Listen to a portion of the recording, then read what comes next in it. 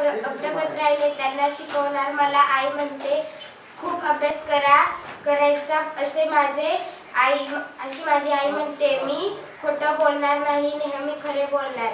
मी मोठी झाल्यावर शिक्षिका होणार व वर्गातील मुलांना शिकवणार. मोठं होणे म्हणजे काय?